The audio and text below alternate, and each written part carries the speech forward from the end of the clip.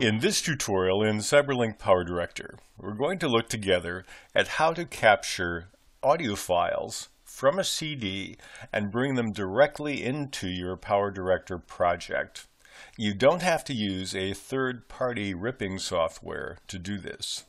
We also remind you it's important to follow copyright regulations when you're dealing with audio CDs. What I'm going to do is I'm going to take this clip I have in my media room and drag it down to track one. And we'll place it in here. Let's see, there we go. And this is just a background track I took of some uh, blooming trees here. I'm going to right click on it and I'm going to mute the audio since the audio in this track is nothing more than ambient noise. And then I'm going to move down to the bottom and here I have my music track and I'd like to put some music in the background while these trees are blowing in the wind, as it were. And I want to take that from a CD. How do I do that? Well, I simply go to Capture to the left of the Edit in the upper left corner and click on there. And then it will give me different ways in which I can capture. The default is the microphone. I'm going to use the third item from the right, which is Capture from a CD.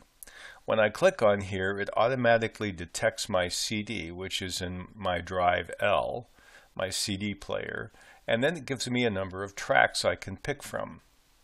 And so I'm going to pick, uh, just for fun, the second track down.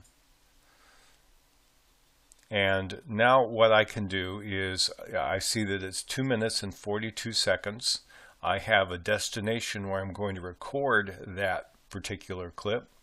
And so I'll go ahead and click on the red record button and it will automatically begin. I'll hear my CD player start to whirl and uh, the recorded length is being is here and the recorded amount of, of uh, time and so in no time at all I have those 2 minutes and 42 seconds.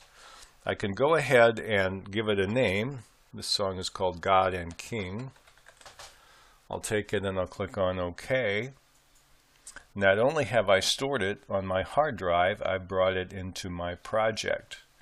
Now I go back to my edit mode by clicking the button at the top and now I have a link in the media room uh, to my audio, my WAV file called God and King.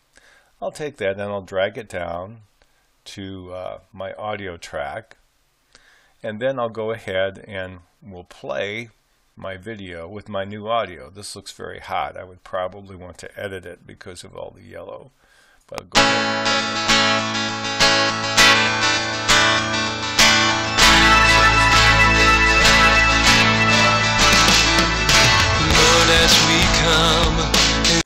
and that's a very simple way to uh, take audio that you have the rights to and put it on your project in CyberLink Power Director. We hope you found this short exercise helpful. Thanks again.